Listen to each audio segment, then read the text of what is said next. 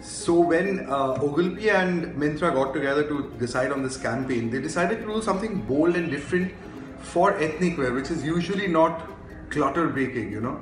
So so to make that happen, we chose to. I mean, it was decided that a campaign is built across a zone where one is bold and one brings out their inner self uh, with and associate that with the ethnic wear, Anouk in this case.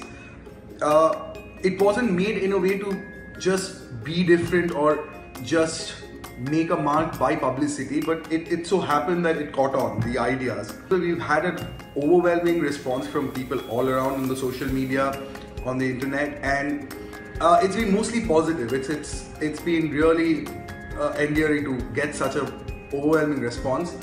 Uh, negative responses have been there on and off a bit, but compared to what the positives have been, it's it's it's just too overpowering, you know. So so the negatives include a few comments like you know from from radical extremist groups or some some uh, re- religiously fanatic people, but but that really doesn't count in terms of the amount of people who've been so positive and open about the response to this film.